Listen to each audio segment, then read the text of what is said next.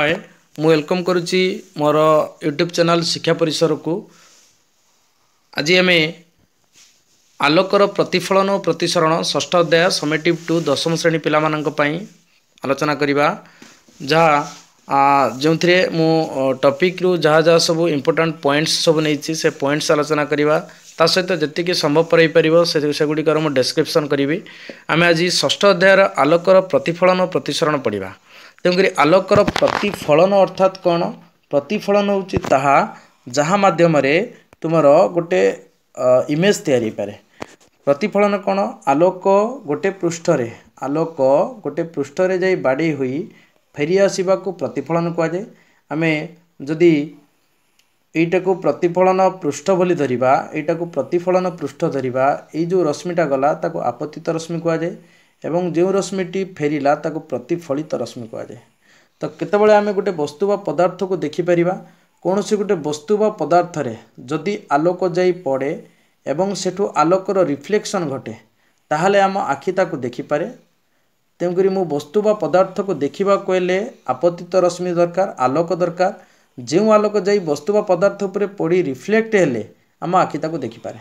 ଯଦି ରିଫ୍ଲେକ୍ଟ ନ ହୋଇ ସେ ଆଲୋକଟି ଆବଜର୍ଭ ହୋଇଗଲା ବା ସେ ଆପତିତ ରଶ୍ମିଟି ଆବଜର୍ଭ ହୋଇଗଲା ତେଣୁକରି ବସ୍ତୁଟି ଆମକୁ ଦେଖାଯିବ ନାହିଁ ତାହା କଳା ଦେଖାଯାଏ। ତେଣୁକରି ଆମେ ଆପତିତ ରଶ୍ମି ଯେଉଁ ରଶ୍ମି ଯାଇଥାଏ ଏବଂ ଯାଇ ପ୍ରତିଫଳନ ପୃଷ୍ଠରେ ବାଡ଼େଇ ହୋଇଥାଏ ପ୍ରତିଫଳନ ପୃଷ୍ଠରେକୁ ଟଚ୍ କରିଥାଏ ତାକୁ ଆପତିତ ରଶ୍ମି କୁହାଯାଏ ଏବଂ ପ୍ରତିଫଳନ ପୃଷ୍ଠରୁ ଯେଉଁଟା ଫେରିଥାଏ ତାକୁ ପ୍ରତିସରଣ ପ୍ରତିଫଳିତ ରଶ୍ମି କୁହାଯାଏ। ଏବଂ ମଝିରେ ଯେଉଁଟା ନାଇଣ୍ଟି ଡିଗ୍ରୀ ହୋଇ ରହିଥାଏ ତୁମର ପ୍ରତିଫଳନ ପୃଷ୍ଠ ସହିତ ତାହାକୁ କ'ଣ କୁହାଯାଏ? ନା ଅଭିଲମ୍ବ କୁହାଯାଏ। ନାଇଣ୍ଟି ଡିଗ୍ରୀ ହୋଇ ରହିଥାଏ ତାକୁ ଅଭିଲମ୍ବ କୁହାଯାଏ। ଏବଂ ଅଭିଲମ୍ବ ଆପତନ ରଶ୍ମି ମଧ୍ୟରେ ଥିବା କୋଣକୁ ତୁମର ଆପତିତ କୋଣ କୁହାଯାଏ। ପ୍ରତିଫଳିତ ରଶ୍ମି ଆଉ ଅବିଲମ୍ବ ମଧ୍ୟରେ ଥିବା କୋଣକୁ ପ୍ରତିଫଳନ କୋଣ କୁହାଯାଏ। ଆପତନ କୋଣକୁ ଆଇ ବୋଲି ଧରାଯାଏ ପ୍ରତିଫଳନ କୋଣକୁ ଆର୍ ବୋଲି ଧରାଯାଏ। ତେଣୁକରି ଏଗୁଡ଼ିକ ଆମେ ମନେ ରଖିବା ଉଚିତ ଯେ ଆପତିତ ରଶ୍ମି କାହାକୁ କୁହାଯାଏ ନା? ଯେଉଁ ରଶ୍ମି ବସ୍ତୁ ବା ପଦାର୍ଥ ବା ଆଲୋକର ଉତ୍ସରୁ ଯାଇଥାଏ ତାକୁ ଆପତିତ ରଶ୍ମି। ଏବଂ ଯେତେବେଳେ ପ୍ରତିଫଳନ ପୃଷ୍ଠରେ ତାହା ବାଡ଼େଇ ହୁଏ ଏବଂ ରିଟର୍ଣ୍ଣ କରେ ତାକୁ ପ୍ରତିଫଳିତ ରଶ୍ମି କୁହାଯାଏ। ପ୍ରତିଫଳନ ପୃଷ୍ଠ ପ୍ରତି ଯେଉଁ ଲମ୍ବ ଅକ୍ଷଟି ଥାଏ ତାକୁ ଅବିଲମ୍ବ କୁହାଯାଏ। ଆପତିତ ରଶ୍ମି ଆଉ ଅବିଲମ୍ବ ଭିତରେ ଥିବା କୋଣକୁ ଆପତନ କୋଣ କୁହାଯାଏ। ପ୍ରତିଫଳିତ ରଶ୍ମି ଆଉ ଅବିଲମ୍ବ ଭିତରେ ଥିବା କୋଣକୁ ପ୍ରତିଫଳନ କୋଣ କୁହାଯାଏ। ତାହେଲେ ଆମେ ବର୍ତ୍ତମାନ ଆମେ ଦେଖିଲେ ଯେ ଗୋଟେ ପ୍ରତିବିମ୍ବ ସୃଷ୍ଟି ହେବାକୁ ହେଲେ ତେଣୁ ଗୋଟେ ଅଇନା ଭିତରେ ବା ଦର୍ପଣ ଭିତରେ ଯେଉଁ ଛବିଟି ତିଆରି ହୁଏ ତାକୁ ଆମେ କହିଥାଉ ପ୍ରତିବିମ୍ବ ବୋଲି। ଦର୍ପଣ ଆଉ ଲେନ୍ସ ଭିତରେ ଡିଫରେନ୍ସ ତୁମେ କ'ଣ ଜାଣିପାରୁଥିବ? ଦର୍ପଣ ହେଉଛି କ'ଣ? ଆଲୋକର ପ୍ରତିଫଳନ ଘଟିବ। ଦର୍ପଣରେ ଆଲୋକର ପ୍ରତିଫଳନ ଘଟେ। ଆଲୋକ ଯାଏ ରିଫ୍ଲେକ୍ଟ ହୁଏ। କିନ୍ତୁ ତୁମର ଲେନ୍ସରେ ଆଲୋକର ପ୍ରତିଫଳନ ଘଟେନି। ଆଲୋକ ଯାଏ ଏବଂ ତାହା ଫେରିଯାଏ। କାହିଁକି ନା ଏଠି ପ୍ରତିଫଳନ ତେବେ ବର୍ତ୍ତମାନ ଦେଖିବା। ପୃଥିବୀରେ ଆମ ଚାରିପଟେ ଆମେ ଅନେକ ପ୍ରକାର ବସ୍ତୁ ଦେଖୁ କିନ୍ତୁ ଅନ୍ଧାର ଘରେ ଆମେ କିଛି ଦେଖିପାରୁନା। କାହିଁକି ତା'ର କାରଣ ମୁଁ କହିଦେଲି। ଅନ୍ଧାର ଘରେ ନ ଦେଖିପାରିବାର ମୁଖ୍ୟ କାରଣ ହେଉଛି ଯେ ଆଲୋକର ପ୍ରତିଫଳନ ଘଟେ ନାହିଁ। ଆଲୋକର ପ୍ରତିଫଳନ ବସ୍ତୁ ଉପରେ ଆଲୋକ ପଡ଼ି ତା'ର ପ୍ରତିଫଳନ ଘଟିଲେ ହିଁ ଆମେ ବସ୍ତୁଟିକୁ ଦେଖିପାରୁ। ତାହେଲେ କାହା ଯୋଗୁଁ ଆମେ ବସ୍ତୁକୁ ଦେଖିପାରୁ? ଦିନର ସୂର୍ଯ୍ୟାଲୋକ ଆମକୁ ଦେଖିବାରେ ସାହାଯ୍ୟ କରେ। ସାଧାରଣତଃ ବସ୍ତୁ ଉପରେ ଆଲୋକ ପଡ଼ିଲେ ବସ୍ତୁର ପୃଷ୍ଠରୁ ତାହା ପ୍ରତିଫଳିତ ହୁଏ। ସେହି ପ୍ରତିଫଳନ ଯୋଗୁଁ ହିଁ ଆମ ଚକ୍ଷୁ ଆଲୋକକୁ ଗ୍ରହଣ କରେ ଏବଂ ଆହୁରି ମଧ୍ୟ ଏକ ସ୍ୱଚ୍ଛ ମାଧ୍ୟମରେ ଥିବା ବସ୍ତୁକୁ ଦେଖିବେ କାରଣ ଆଲୋକ ଏହା ମାଧ୍ୟମରେ ସଞ୍ଚରିତ ହୋଇ ଆମ ଆଖି ପାଖକୁ ଆସେ। ଆଲୋକ ସଞ୍ଚରିତ ହୋଇ ଆଖି ପାଖକୁ ଆସିଲେ ଆମେ ବସ୍ତୁକୁ ଦେଖିପାରୁ। ଆଲୋକ ସହିତ ଅନେକ ପରିଘଟଣା ଜଡ଼ିତ ଯେମିତିକି ଦର୍ପଣ ଦ୍ୱାରା ପ୍ରତିବିମ୍ବ ଗଠନ। ଦର୍ପଣରେ ପ୍ରତିବିମ୍ବ ଗଠନ ହୁଏ ମୁଁ କହିଛି କିନ୍ତୁ ଲେନ୍ସରେ ପ୍ରତିବିମ୍ବ ଗଠନ ହୋଇପାରେନି। କାହିଁକିନା ଆଲୋକର ତା ପ୍ରତି ସରଣ ଘଟେ। ମୁଁ ବରଂ ବାରମ୍ବାର କହିଛି ଆଲୋକର ପ୍ରତିଫଳନ ଘଟିଲେ ସେଥିରେ ପ୍ରତିବିମ୍ବର ଗଠନ ହୁଏ। ତାରକାମାନଙ୍କର ମିଞ୍ଜି ମିଞ୍ଜି ଆଲୋକ ଇନ୍ଦ୍ରଧନୁର ସାତବର୍ଣ୍ଣ ସାତବର୍ଣ୍ଣ ଇତ୍ୟାଦି ଆଲୋକର ଧର୍ମକୁ ବିଚାର କଲେ ଏପରି ଘଟଣା ଗୁଡ଼ିକୁ ଆମେ ବୁଝିପାରିବା। ଆମ ଚାରିପଟେ ଘଟୁଥିବା ଘଟଣାକୁ ଲକ୍ଷ୍ୟ କରି ଆମେ ଜାଣିପାରିବୁ ଯେ ଆଲୋକ ସବୁବେଳେ ସରଳ ରେଖାରେ ଗତି କରେ। କାହିଁକିନା ତୁମର ଗୋଟେ ପରୀକ୍ଷା ଅଛି ଯଦି ଆଲୋକ କଥା କହିବି ଆଲୋକ ସରଳ ରେଖାରେ ଗତି କରୁଛି କି ବକ୍ର ରେଖାରେ ଗତି କରୁଛି ଆମେ ଗୋଟେ ପରୀକ୍ଷା କରିପାରିବା। ସେଥିପାଇଁ କ'ଣ କରିବା ନା ଗୋଟେ ବେଣ୍ଡ ପାଇପ୍ ନେବା ଏବଂ ବେଣ୍ଡ ପାଇପ୍ରେ ପାଇପ୍ରେ ଆମେ କ'ଣ କରିବା? ନା ଆଲୋକକୁ ଦେଖିବା। ନିଶ୍ଚିତ ଭାବେ ଆଲୋକ ଦେଖାଯିବ ନାହିଁ। କାରଣ ଆମେ କନଫର୍ମ ଯେ ଆଲୋକଟି ସରଳ ରେଖାରେ ଗତି କରେ। କିନ୍ତୁ ଶବ୍ଦ ବକ୍ର ରେଖାରେ ଗତି କରେ। ଆଲୋକ କିନ୍ତୁ ସରଳ ରେଖାରେ ଗତି କରେ। ତେଣୁକରି ଆଲୋକର ଗତିପଥରେ ଆଲୋକର ଯେଉଁ ବାଟେ ଯାଉଛି ଆଲୋକର ଗତିପଥରେ ଆମେ ଯଦି କୌଣସି ଏକ ଅସ୍ୱଚ୍ଛ ପଦାର୍ଥ ରଖିଦେବା ତାହେଲେ ତା'ର ଛାୟା ସୃଷ୍ଟି ହେବ। ପଛପଟେ କ'ଣ ହେବ? ତା'ର ଛାୟା ସୃଷ୍ଟି ହେବ। କାହିଁକି ଛାୟା ସୃଷ୍ଟି ହେଲା? ତା'ର କାରଣ ହେଉଛି ତାର କାରଣ ହେଉଛି ଛାୟା ସୃଷ୍ଟି ହେବାର କାରଣ ଆଲୋକ ସରଳ ରେଖାରେ ଗତି କରେ। ଆଲୋକର ଗତିପଥରେ ଆମେ ଯଦି ଅସ୍ୱଚ୍ଛ ବସ୍ତୁ ରଖିବା ତାର ଗୋଟେ ଛାୟା ସୃଷ୍ଟି ହେବ। ଆଲୋକ ସରଳ ରୈକ୍ଷିକ ଗତିକୁ ସମର୍ଥନ କରେ। ଆଲୋକର ସରଳ ରୈକ୍ଷିକ ଗତିପଥକୁ ଆଲୋକ ରଶ୍ମି ବା ରେ ଅଫ୍ ଲାଇଟ୍ ଦ୍ୱାରା ସୂଚିତ କରାଯାଏ। ତାହେଲେ ଆଲୋକ ସରଳ ରେଖାରେ ଗତି କରେ ଆମେ ଜାଣିଛନ୍ତି। ମୂଳରୁ ମଧ୍ୟ ପଢ଼ିଛନ୍ତି। ପୂର୍ବ କ୍ଲାସ୍ରେ ପଢ଼ିଛନ୍ତି। ଆମେ ଆଲୋକର ଆଲୋକର ଗତିକୁ ସରଳ ରେଖା ଗତି କୁହାଯାଏ। ଆଲୋକ ଗୋଟିଏ କ୍ଷୁଦ୍ର ଅସ୍ୱଚ୍ଛ ବସ୍ତୁ ଆଲୋକର ଗତିପଥରେ ରହିଯାଏ। ତେବେ ଆଲୋକ ଗତି କରୁଥିବା ଆଲୋକର ସେହି ଅତି କ୍ଷୁଦ୍ର ବସ୍ତୁ ପାଖରେ କ'ଣ ହୁଏ ନା ବାଙ୍କିଯାଏ ଏହାକୁ ଆଲୋକର ବିକିର୍ଣ୍ଣନ କୁହାଯାଏ। ତ ବର୍ତ୍ତମାନ ଆମେ ଆଉ ଗୋଟେ କ୍ୟାରେକ୍ଟର ଆଲୋକର ପଢ଼ିଲେ ଯାହାକୁ ଆଲୋକର ବିକିର୍ଣ୍ଣନ ବୋଲି କୁହାଯାଏ ଆଲୋକ ମଧ୍ୟ ବଙ୍କେଇ ପାରେ। ତ ଯେତେବେଳେ ଗୋଟେ ଗୋଟେ ମାଧ୍ୟମରୁ ଅନ୍ୟ ଏକ ମାଧ୍ୟମକୁ ଯାଉଛି ଆଲୋକ ସେତେବେଳେ କ'ଣ ହୁଏ ନା ତା'ର ଗତିପଥର ପରିବର୍ତ୍ତନ ଆସେ। ବର୍ତ୍ତମାନ ଆମେ ପ୍ରଥମେ ଦେଖିଲେ ଯେ ଆଲୋକ କ'ଣ ହୁଏ ନା ସରଳ ରେଖାରେ ଗତି କରେ। ବର୍ତ୍ତମାନ ଦେଖିଲେଣି ଆଲୋକ ବଙ୍କେଇ ପାରେ ଅର୍ଥାତ୍ ଆଲୋକର ବିକିର୍ଣ୍ଣନ ହେଉଛି ଆଲୋକର ଗତିପଥ ବଦଳିଥାଏ। ଯଦି ଗୋଟେ ମାଧ୍ୟମରୁ ଅନ୍ୟ ଏକ ମାଧ୍ୟମ ବା ଗୋଟେ ଘନ ମାଧ୍ୟମରୁ ଗୋଟେ ଲଘୁ ମାଧ୍ୟମକୁ ଆଲୋକ ଯାଉଛି ତେବେ ତା'ର ଗତିପଥର ପରିବର୍ତ୍ତନ ହେଇଥାଏ। ଆମେ ପରେ ୟା ପରେ ପଢ଼ିବା ଯେତେବେଳେ ଆୟତ ଘନାକାର କାଚ ସ୍ଲାବର ଆଲୋକର ପ୍ରତିସରଣ ପଡ଼ିବା ସେତେବେଳେ ଆମେ ଦେଖିବା ଆଲୋକ କ'ଣ ହୁଏ ନା ଗତିପଥ ବଙ୍କେଇଥାଏ। ତେଣୁକରି ବର୍ତ୍ତମାନ ଦୁଇଟି କନଫ୍ୟୁଜିଂ ଜିନିଷ ଆସିଲା ଯେ ଆଲୋକରେ ଏଇ ବାଙ୍କି ଯିବା ପ୍ରକ୍ରିୟାକୁ ଆଲୋକର ସରଳୀକୃତ ଗତିତତ୍ତ୍ୱ ଠିକ୍ ଭାବରେ ବୁଝେଇ ପାରେ ତେଣୁକି ବିକିର୍ଣ୍ଣନ ପରିଘଟଣାକୁ ବୁଝାଇବା ପାଇଁ ଆଲୋକକୁ ଏକ ତରଙ୍ଗ ବୋଲି କଳ୍ପନା କରାଗଲା। ତେଣୁ ପ୍ରଥମେ ଜାଣିଥିଲେ ଆମେ କନସେପ୍ଟ ପାଇଥିଲେ ଆଲୋକ ସରଳରେଖାରେ ଗତି କରେ। ବର୍ତ୍ତମାନ କନସେପ୍ଟ ପାଇଲେଣି ଆଲୋକ ବକ୍ର ବଙ୍କେଇ ପାରେ। ଅର୍ଥାତ୍ ତେଣୁକରି ସେ ଗୋଟେ କନଫର୍ମ ହେଲା ଯେ ଆଲୋକ ସରଳ ରେଖା ନୁହେଁ କି ବକ୍ରରେଖା ନୁହେଁ ଆଲୋକ ସବୁବେଳେ ତରଙ୍ଗ ଆକାରରେ ଗତି କରେ। ବିଂଶ ଶତାବ୍ଦୀର ପ୍ରାରମ୍ଭରେ ପୁଣି ଜଣାପଡ଼ିଲା ଯେ ପଦାର୍ଥ ଓ ଆଲୋକ ମଧ୍ୟରେ ହେଉଥିବା ପାରସ୍ପରିକ ପ୍ରକ୍ରିୟାକୁ ବୁଝାଇବା ପାଇଁ ଆଲୋକର କେବଳ ତରଙ୍ଗ ରୂପ ଯଥେଷ୍ଟ ନୁହେଁ। ଆଲୋକର କେବଳ ତରଙ୍ଗ ରୂପ ଯଥେଷ୍ଟ ନୁହେଁ। ଅନେକ କ୍ଷେତ୍ରରେ ଅନେକ କ୍ଷେତ୍ରରେ ଆଲୋକ କଣିକା ସଦୃଶ କଣିକା ସଦୃଶ ଗୁଣ ମଧ୍ୟ ପ୍ରଦର୍ଶନ କରିଥାଏ। ଆଲୋକ ଗୋଟେ ପାର୍ଟିକିଲ୍ ମଧ୍ୟ ହେଇପାରେ। ତେଣୁ ସେ ସମୟରେ ବାରମ୍ବାର ପ୍ରଶ୍ନ ଉଠିଲା ଯେ ଆଲୋକ ତରଙ୍ଗ ନା କଣିକା? ଯଦି ଆଲୋକ ତରଙ୍ଗ ତାହେଲେ ତରଙ୍ଗିତ ଭାବରେ ଗତି କରିବା କଥା। ଯଦି କଣକିଆ ତାହେଲେ ସିଧାସଳଖ ଗତି କରିବା କଥା। ତେଣୁକରି କେଉଁ ଗତିକୁ ଧାର୍ଯ୍ୟ ବୋଲି ଧରାଯିବ? ଆଲୋକର ପ୍ରକୃତି ସମ୍ବନ୍ଧରେ ଏ ପ୍ରକାର ବିବାଦୀୟ ଧାରଣା ବିଭ୍ରାନ୍ତି ସମୟରେ ଆଉ କେତେ ବର୍ଷ ପାଇଁ ଲାଗି ରହିଲା? ବର୍ଷର ଶେଷରେ ଗୋଟେ ଥିଓରି ବାହାରିଲା ଯାହାକୁ କ୍ୱାଣ୍ଟମ୍ ତତ୍ତ୍ୱ କୁହାଯାଏ ବା କ୍ୱାଣ୍ଟମ୍ ଥିଓରି କୁହାଯାଏ ଯେଉଁଥିରେ କୁହାଗଲା ଯେ ଆଲୋକର ଉଭୟ କ୍ୟାରେକ୍ଟର ପ୍ରଦର୍ଶନ ହୁଏ ଅର୍ଥାତ୍ ଆଲୋକ ସରଳ ରେଖାରେ ଗତି କରିପାରେ ଆଉ ବକ୍ର ରେଖାରେ ମଧ୍ୟ ଗତି କରିପାରେ। ଏହି ପ୍ରକୃତିକୁ ଦ୍ୱୈତ ପ୍ରକୃତି କୁହାଯାଏ ଆଲୋକର ଡୁଆଲ୍ ନେଚର୍ ଅଫ୍ ଲାଇଟ୍ ତେଣୁକରି ଆମେ এই পেଜ୍ରୁ ଦେଖିଲେ ଯେ ଆଲୋକ କୋଶ୍ଚେନ୍ ମନେ ରଖିବ କୋଶ୍ଚେନ୍ ମଧ୍ୟ ଲେଖି ନେବ ମୁଁ କୋଶ୍ଚେନ୍ ମଧ୍ୟ ସ୍କ୍ରିନ୍ରେ ଦେଇଦେଉଛି ପ୍ରଥମ କୋଶ୍ଚେନ୍ ଥିଲା ଯେ ଆମେ ଗୋଟେ ବସ୍ତୁକୁ ଦେଖିପାରିବା କେମିତି ପ୍ରଥମ କଥା ହେଉଛି ଆମକୁ ବସ୍ତୁଟିକୁ ଦେଖିବାକୁ ହେଲେ ଆଲୋକ କ'ଣ ହୁଏ ନା ତା ଉପରେ ପଡ଼େ ତା'ର ଆଲୋକର ପ୍ରତିଫଳନ ଘଟେ ଆଲୋକର ପ୍ରତିଫଳନ ହୋଇସାରିଲା ପରେ ଆମେ ବସ୍ତୁଟିକୁ ଦେଖିପାରୁ ଯଦି ଆଲୋକର ସମ୍ପୂର୍ଣ୍ଣ ଅବଶୋଷଣ ଘଟେ ତେବେ ଆମେ ବସ୍ତୁଟିକୁ ଦେଖିପାରିବା ନାହିଁ ଦୁଇ ନମ୍ବର କୋଶ୍ଚେନ୍ ତୁମ ପାଇଁ ରହିଲା ଆଲୋକର ଦ୍ୱୈତ ପ୍ରକୃତି କହିଲେ କ'ଣ ବୁଝ ଦ୍ୱୈତ ପ୍ରକୃତି ମାନେ ତୁମର ଆଲୋକ ସରଳ ରେଖାରେ ଗତି କରିପାରେ ପୁଣି ଆଲୋକ ଆଲୋକ ତରଙ୍ଗରେ ଗତି କରିପାରେ। ଅର୍ଥାତ୍ ଆଲୋକକୁ ଆମେ ଗୋଟେ କଣିକା କହିପାରିବା ଆଲୋକକୁ ଗୋଟେ ତରଙ୍ଗ କହିପାରିବା। ଏଇ ଯେଉଁ କନସେପ୍ଟକୁ ଆମେ ଆଲୋକର ଦ୍ୱୈତ ପ୍ରକୃତି ବୋଲି କହିଥାଉ। ଏହି ଅଧ୍ୟାୟରୁ ଆମେ ଜାଣିଲେ ଯେ ଆଲୋକର ସରଳରୈଖିକ ଗତି ତତ୍ତ୍ୱକୁ ବ୍ୟବହାର କରି ଆଲୋକର ପ୍ରତିଫଳନ ଓ ପ୍ରତିସରଣ ବିଷୟରେ ଅନେକ କଥା ଜାଣିବା। ପ୍ରତିଫଳନ କହିଲେ ଆଲୋକ ବାଡ଼େଇ ଫେରି ଆସିବାକୁ ପ୍ରତିଫଳନ। ଆଲୋକ ଯଦି ବାଡ଼େଇ ନ ଫେରିଲା ପ୍ରତିସରଣ ହୁଏ।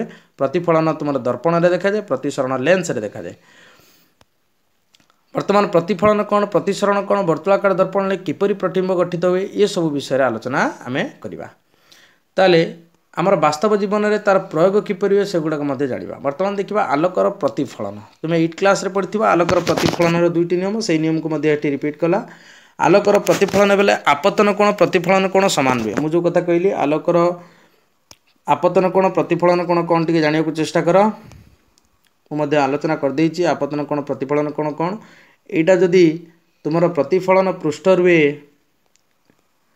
ଯାଉଥିବା ରଶ୍ମିକୁ ଆପତିତ ରଶ୍ମି କୁହାଯାଏ ଏବଂ ପ୍ରତିଫଳନ ପୃଷ୍ଠରେ ବାଡ଼େଇ ହୋଇସାରିବା ପରେ ଯେଉଁଟା ନିର୍ଗତ ହୁଏ ତାକୁ ପ୍ରତିଶ୍ରୁତ ପ୍ରତିଫଳିତ ରଶ୍ମି କୁହାଯାଏ ଏବଂ ଅଭିଲମ୍ବ ଯାହାକି ପ୍ରତିଫଳନ ପୃଷ୍ଠ ପ୍ରତି ଲମ୍ବ ଥାଏ ଅଭିଲମ୍ବ ଆଉ ଆପତନ ରଶ୍ମି ମଧ୍ୟରେ ଥିବା କୋଣକୁ ଆପତନ କୋଣ କୁହାଯାଏ ଏବଂ ଅବିଲମ୍ବ ଆଉ ପ୍ରତିଫଳନ ରଶ୍ମି ମଧ୍ୟରେ ଥିବା କୋଣକୁ ପ୍ରତିଫଳନ କୋଣ କୁହାଯାଏ। ତେଣୁକରି ଆପତନ କୋଣ ପ୍ରତିଫଳନ କୋଣ କ'ଣ ଜାଣିଲ? ତେଣୁକରି ଲକ୍ଷ୍ୟ କର ଆପତିତ ରଶ୍ମି ପ୍ରତିଫଳିତ ରଶ୍ମି ପ୍ରତିଫଳନ ପୃଷ୍ଠ ଅବିଲମ୍ବ ଏମାନେ ଗୋଟିଏ ସମତଳରେ ରହୁଛନ୍ତି। ଏମାନେ ଗୋଟିଏ ସମତଳରେ ରହୁଛନ୍ତି। ଏହା ହେଲା ପ୍ରଥମ ତତ୍ତ୍ୱ ଦୁଇ ନମ୍ବର ତତ୍ତ୍ୱ କ'ଣ କହିଲା? ଭଲକି ଦେଖ। ଦୁଇ ନମ୍ବର ତତ୍ତ୍ୱ କହିଛି ଆପତିତ ରଶ୍ମି ପ୍ରତିଫଳିତ ରଶ୍ମି ଓ ଆପତନ ବିନ୍ଦୁରେ ପ୍ରତିଫଳନ ପୃଷ୍ଠ ପ୍ରତି ଅଙ୍କିତ ଲମ୍ବ ଗୋଟେ ସମତଳରେ ରୁହନ୍ତି। ଏଇଟା ଦୁଇ ନମ୍ବର ପଏଣ୍ଟଟା ମୁଁ ଆଲୋଚନା କରିଦେଇଛି। ତା ସହିତ ଏକ ନମ୍ବର କ'ଣ କହିଲେ ଆପତନ ଆଲୋକର ପ୍ରତିଫଳନ ବେଳେ ଆପତନ କୋଣ ଆଉ ପ୍ରତିଫଳନ କୋଣ ସମାନ ରହିଥାଏ। ତେଣୁକରି ଯଦି ଆମେ ଦେଖିବା ଆପତନ କୋଣ ଆଉ ପ୍ରତିଫଳନ କୋଣ ଇଏ ଦୁଇ ଜଣ ଯାକ ସମାନ ରହିଥାନ୍ତି। ତେଣୁକରି ଦୁଇଟି ନିୟମକୁ ମୁଁ ଆଉ ଥରେ ଠିକ୍ସେ ଆଲୋଚନା କରିଦେଉଛି ମନ ଦେଇକି ବୁଝିବା ପାଇଁ ଚେଷ୍ଟା କରିବ। ଯେ ଯେତେବେଳେ ଗୋଟେ ଆଲୋକ ଆସିକି ଆପତିତ ହେଉଛି ବା ଆଲୋକର ଆପତନ ଘଟୁଛି ସେତେବେଳେ ମନେ ରଖିଥିବ ଯେ ଯେଉଁ ରଶ୍ମି ବାଡ଼େଇ ହୁଏ ପ୍ରତିଫଳନ ପୃଷ୍ଠ ପ୍ରତି ତାକୁ ଆପତିତ ରଶ୍ମି ଏବଂ ସିଏ ଅବିଳମ୍ବ ସହିତ ଯେଉଁ କୋଣ ସୃଷ୍ଟି କରେ ତାକୁ ଆପତନ କୋଣ କୁହାଯାଏ ଏବଂ ବାଡ଼େଇ ଫେରିଲା ପରେ ଯେଉଁ ରଶ୍ମିଟିଏ ବାହାରେ ତାକୁ ପ୍ରତିଫଳିତ ରଶ୍ମି କୁହାଯାଏ ସିଏ ଅବିଳମ୍ବ ସହିତ ଯେଉଁ କୋଣ ସୃଷ୍ଟି କରେ ତାକୁ ପ୍ରତିଫଳନ କୋଣ କୁହାଯାଏ। ପ୍ରଥମ ନିୟମ କହିଲା ଆଇ କୋଣ ଇଜ୍ ଇକ୍ୱାଲ୍ ଟୁ ଆର୍ କୋଣ ଅର୍ଥାତ୍ ଆପତନ କୋଣ ପ୍ରତିଫଳନ କୋଣ ସହିତ ସମାନ ଆସିବ। ଦୁଇ ନମ୍ବର କଥା କହିଲା ଆପତିତ ରଶ୍ମି ପ୍ରତିଫଳିତ ରଶ୍ମି ଆଉ ଅବିଳମ୍ବ ଇଏ ତିନୋଟି ଯାକ ଗୋଟିଏ ସମତଳରେ ରହିବେ। ତାହେଲେ ଆଲୋକ ପ୍ରତିଫଳନର ଦୁଇଟି ନିୟମ ବୁଝିହେଲା। ଆଲୋକ ପ୍ରତିଫଳନର ଦୁଇଟି ନିୟମ ହେଲା ଆପତନ କୋଣ ପ୍ରତିଫଳନ କୋଣ ସମାନ ହୋଇଥାଏ। ଆଉ ଦ୍ୱିତୀୟ ନିୟମ ହେଉଛି ଆପତିତ ରଶ୍ମି ପ୍ରତିଫଳିତ ରଶ୍ମି। ଆପତନ ବିନ୍ଦୁରେ ପ୍ରତିଫଳନ ପୃଷ୍ଠ ପ୍ରତି ଅଙ୍କଦ ଅବିଳମ୍ବ ଇଏ ତିନୋଟି ଯାକ ଗୋଟିଏ ସମତଳରେ ରୁହନ୍ତି। ତାପରେ ଦେଖିବା ସମତଳ ଦର୍ପଣରେ ଗଠିତ ପ୍ରତିବିମ୍ବର ପ୍ରକୃତି। ସମସ୍ତେ ସମତଳ ଦର୍ପଣ ଦେଖୁଥିବ। ଅଇନା ଯେଉଁ ଦେଖୁଛ ସେ ଆଇନାରେ କେମିତି ପ୍ରତିବିମ୍ବ ସୃଷ୍ଟି ହେଉଛି ବା ଗୋଟେ ସମତଳ ଦର୍ପଣରେ କେମିତି ପ୍ରତିବିମ୍ବଟିଏ ସୃଷ୍ଟି ହେଉଛି ସେଗୁଡ଼ାକ ଆଲୋଚନା କରିବା। ପ୍ରଥମ କଥା କହୁଛି ଯେ ସମତଳ ଦର୍ପଣ ଦ୍ୱାରା ସୃଷ୍ଟି ହୋଇଥିବା ପ୍ରତିବିମ୍ବ ସର୍ବଦା ଆଭାସୀ ଓ ସଳକ ହୋଇଥାଏ। ଆଭାସୀ ମାନେ କୌଣସି ପରଦାରେ ଧରି ହୁଏ ନାହିଁ ସେ ପ୍ରତିବିମ୍ବକୁ। ସଳକ ମାନେ ସଳକ ହୋଇଥାଏ। ଅର୍ଥାତ୍ ତୁମେ ଯେମିତି ତୁମ ପ୍ରତିବିମ୍ବ ମଧ୍ୟ ସେମିତି ହୋଇଥାଏ। ଦୁଇ ନମ୍ବର କଥା କହିଲା ଏହି ପ୍ରତିବିମ୍ବର ଆକାର ବସ୍ତୁର ଆକାର ସହିତ ସମାନ ହୋଇଥାଏ। ତାମାନେ ପ୍ରତିବିମ୍ବ ଯେଡ଼େ ଯେତେ ବସ୍ତୁଟି ଯେତେ ବଡ଼ ଦେଖେଇବ ତା ଭିତରେ ଯେଉଁ ପ୍ରତିବିମ୍ବଟି ସୃଷ୍ଟି ହେବ ତାର ମଧ୍ୟ ଆକାର ସମାନ ରହିବ। ବସ୍ତୁର ଆକାର ପ୍ରତିବିମ୍ବର ଆକାର ସମାନ ରହିବ। ଯଦି ଗୋଲା ଆକାର ଦେଖାଉଛ ସେଠି ଗୋଲାକାର ଆସିବ। ଯଦି ଚାରିକୁଣିଆ ବା ଆୟତଘନ ସମଗାନ କୃତି ଦେଖାଉଛ ସେଇଟା ସମଗାନ କୃତି ଆୟତଘନ କୃତି ରହିବ। ଯଦି ମନୁଷ୍ୟ ଭଳିଆ ଦେଖାଉଛ ତାହେଲେ ତା ଭିତରେ ବି ଯେଉଁ ପ୍ରତିବିମ୍ବ ସୃଷ୍ଟି ହେବ ସେ ମଧ୍ୟ ମନୁଷ୍ୟ ଭଳିଆ ଦେଖାଯିବ। ତା ସହିତ ଥର୍ଡ଼ ପଏଣ୍ଟ କହିଲା ସମତଳ ଦର୍ପଣରେ ବସ୍ତୁ ଯେତିକି ଦୂରରେ ପ୍ରତିବିମ୍ବ ପଛପଟେ ସେତିକି ଦୂରରେ। ତେଣୁକରି ସମତଳ ଦର୍ପଣରେ ଯେଉଁ ପ୍ରତିବିମ୍ବଟି ସୃଷ୍ଟି ହେଉଛି ବସ୍ତୁଠାରୁ ତାହା ଯେତିକି ଦୂରରେ ସୃଷ୍ଟି ହେବ ତୁମର ବସ୍ତୁଠାରୁ ଅଇନାଟି ଯେତିକି ଦୂରରେ ରହିବ ଲାଗିବ ଯେ ପ୍ରତିବିମ୍ବଟି ଅଇନାଠାରୁ ସେତିକି ଦୂରରେ ଅଛି ଆଇନାଠାରୁ ସେତିକି ଦୂରରେ ଅଛି। ତା ସହିତ ଇମ୍ପୋର୍ଟାଣ୍ଟ ପଏଣ୍ଟ କହିଲା ଏହାର ପାର୍ଶ୍ୱ ଓଲଟା ଦେଖାଯାଇଥାଏ ମାନେ ପାର୍ଶ୍ୱ ପରିବର୍ତ୍ତନ ହୋଇଥାଏ। ତାହେଲେ ଆମେ ଏଇ ଯେଉଁ ଚାରୋଟି ପଏଣ୍ଟ ମନେ ରଖିଦେବା ସମତଳ ଦର୍ପଣରେ ଇଏ ଗୋଟେ ଇମ୍ପୋର୍ଟାଣ୍ଟ କ୍ୱେଶ୍ଚନ୍ ମଧ୍ୟ ମୁଁ ଏ କ୍ୱେଶ୍ଚନ୍ଟିକୁ ଦେବି ମଧ୍ୟ। ଏ କ୍ୱେଶ୍ଚନ୍ରେ ଚାରୋଟି ପଏଣ୍ଟ ରହିଲା ସମତଳ ଦର୍ପଣ ଦ୍ୱାରା ସୃଷ୍ଟି ହୋଇଥିବା ପ୍ରତିବିମ୍ବ ସର୍ବଦା ଆଭାସୀ ଓ ସଳକ ହୋଇଥାଏ। ଦୁଇ ନମ୍ବର ପଏଣ୍ଟ କହିଲା ଏହି ପ୍ରତିବିମ୍ବର ଆକାର ବସ୍ତୁର ଆକାର ସହିତ ସମାନ ହୋଇଥାଏ। ତା ସହିତ ସମତଳ ଦର୍ପଣ ସମ୍ମୁଖରେ ବସ୍ତୁ ଯେତିକି ଦୂରରେ ଥାଏ ତାର ପ୍ରତିବିମ୍ବ ପଛପଟେ ସେତିକି ଦୂରରେ ସୃଷ୍ଟି ହୁଏ। ତାପରେ କହିଲା ଏହି ପ୍ରତିବିମ୍ବର ପାର୍ଶ୍ୱ ଓଲଟା ହୋଇଥାଏ। ବର୍ତ୍ତମାନ ଆମେ ଦେଖିବା ଯେ ପ୍ରତିଫଳନ ପୃଷ୍ଠ ଯଦି ସମତଳ ନ ହୋଇ ବକ୍ର ହୁଏ ତାହେଲେ କ'ଣ ହେବ? ବର୍ତ୍ତମାନ ଆମେ ଦେଖିବା ଯେ ବର୍ତ୍ତୁଳାକାର ଦର୍ପଣ ବର୍ତ୍ତୁଳାକାର ଦର୍ପଣ କ'ଣ? କେମିତି ପ୍ରତିବିମ୍ବ ସେଥିରେ ସୃଷ୍ଟି ହୁଏ? ବର୍ତ୍ତୁଳାକାର ଦର୍ପଣ କେତେ ପ୍ରକାର? ଚାମଚର ପୃଷ୍ଠକୁ ଲକ୍ଷ୍ୟ କର। ଚାମଚର ପୃଷ୍ଠକୁ ଲକ୍ଷ୍ୟ କଲେ ଆମେ ଦୁଇଟି କଥା ପାଇବା। ଚାମଚର ପୃଷ୍ଠକୁ ଲକ୍ଷ୍ୟ କର। ଯଦି ଆମେ ଚାମଚର ପୃଷ୍ଠକୁ ଲକ୍ଷ୍ୟ କରିବା ଚାମଚର ପୃଷ୍ଠଟି ଏମିତି ହୋଇଥାଏ। ତେଣୁକରି ବର୍ତ୍ତୁଳାକାର ଦର୍ପଣ ଆଉ ଗୋଟେ ଚିତ୍ରଟା କରୁଛି। ବର୍ତ୍ତୁଳାକାର ଦର୍ପଣକୁ ମୁଁ ଦୁଇଟି କଲି ଦୁଇ ପ୍ରକାର ବର୍ତ୍ତୁଳାକାର ଦର୍ପଣ ଦେଖାଯାଏ।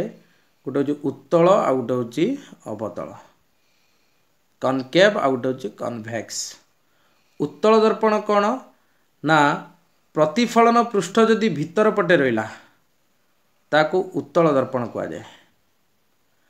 ପ୍ରତିଫଳନ ପୃଷ୍ଠ ଯଦି ବାହାର ପଟେ ରହିଲା ତାହେଲେ ତାକୁ ଆମେ ଅବତଳ ଦର୍ପଣ କହିବା ମନେ ରଖିଥାଅ ପ୍ରତିଫଳନ ପୃଷ୍ଠ।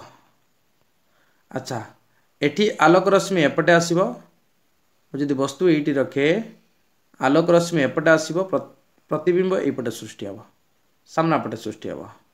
କିନ୍ତୁ ଅବତଳ ଦର୍ପଣରେ କ'ଣ ହେବ ନା ଆଲୋକ ରଶ୍ମି ଏପଟରୁ ଆସିବ ବସ୍ତୁ ଏପଟେ ରହିବ ପ୍ରତିବିମ୍ବ ଏଇ ଭିତର ପଟେ ସୃଷ୍ଟି ହେବ। ଠିକ୍ ଅଛି? ମୁଁ ଇମେଜ୍ ମଧ୍ୟ କରିଦେଉଛି।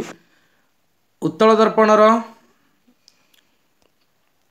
ଉତ୍ତଳ ଦର୍ପଣର ପ୍ରତିବିମ୍ବ ଏପଟେ ସୃଷ୍ଟି ହୁଏ ଅବତଳ ଦର୍ପଣର ପ୍ରତିବିମ୍ବ ଏପଟେ ସୃଷ୍ଟି ହୁଏ ଏଇଟା ହେଲା ଉତ୍ତଳ ଏଇଟା ହେଲା ଅବତଳ ଦର୍ପଣ ତେଣୁକରି ପ୍ରତିଫଳନ ପୃଷ୍ଠର ଉତ୍ତଳ ଦର୍ପଣର ଏଇପଟେ ରହିଥିବା ପ୍ରତିଫଳନ ପୃଷ୍ଠ କିନ୍ତୁ ଅବତଳ ଦର୍ପଣର ପ୍ରତିଫଳନ ପୃଷ୍ଠ ଏଇପଟେ ରହିଥାଏ।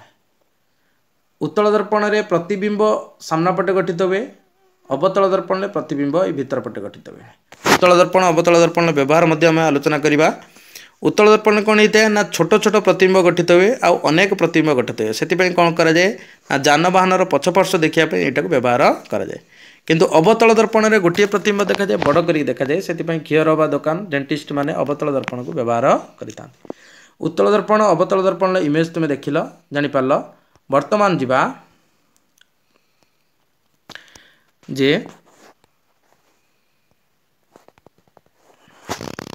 ବର୍ତ୍ତୁଳାକାର ଦର୍ପଣ କ'ଣ ବର୍ତ୍ତୁଳାକାର ଦର୍ପଣର ପ୍ରକାରଭେଦ ଦେଖିବା ସେଗୁଡ଼ିକ ବିଷୟରେ ଆଲୋଚନା କରିବା ତ ପରବର୍ତ୍ତୀ କ୍ଲାସ୍ରେ ଆମେ ଦେଖିବା ତ ଏଇ କ୍ଲାସ୍ରେ ଆମେ ଦେଖିଲେ ତିନୋଟି କ୍ୱେଶ୍ଚନ୍ ଆଲୋଚନା କରିଦେଲି ମୁଁ ପ୍ରଥମ କ୍ୱେଶ୍ଚନ୍ ହେଉଛି ଯେ ବସ୍ତୁକୁ ଆମେ କିପରି ଦେଖିପାରନ୍ତି ଦ୍ୱିତୀୟ କ୍ୱେଶ୍ଚନ୍ ହେଉଛି ଯେ ଚାରୋଟି କ୍ୱେଶ୍ଚନ୍ ଆଲୋଚନା ହେଇଛି ଦ୍ୱିତୀୟ କ୍ୱେଶ୍ଚନ୍ ହେଉଛି ଯେ ଆଲୋକର ଦ୍ୱୈତ ପ୍ରକୃତି କହିଲେ କ'ଣ ବୁଝ ତୃତୀୟ କ୍ୱେଶ୍ଚନ୍ ହେଉଛି ଆଲୋକର ପ୍ରତିଫଳନର ଦୁଇଟି ନିୟମ ଲେଖ।